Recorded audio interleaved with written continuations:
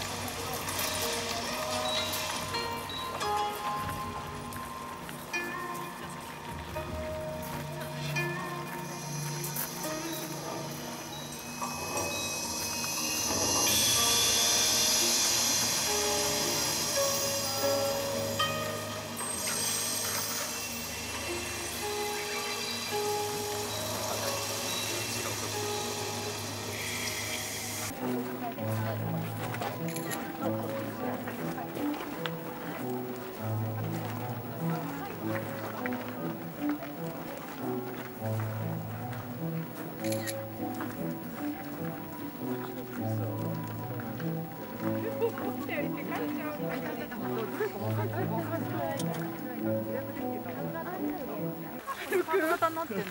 うん。行くよ。